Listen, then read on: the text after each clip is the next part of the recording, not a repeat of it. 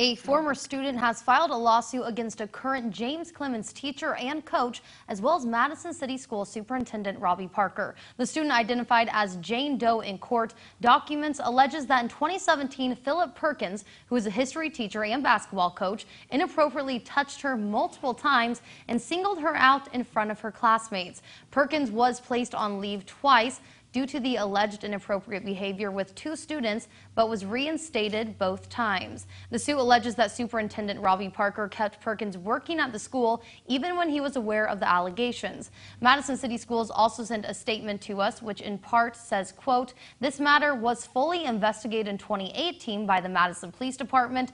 The allegations of assault or other misconduct made at that time were not corroborated.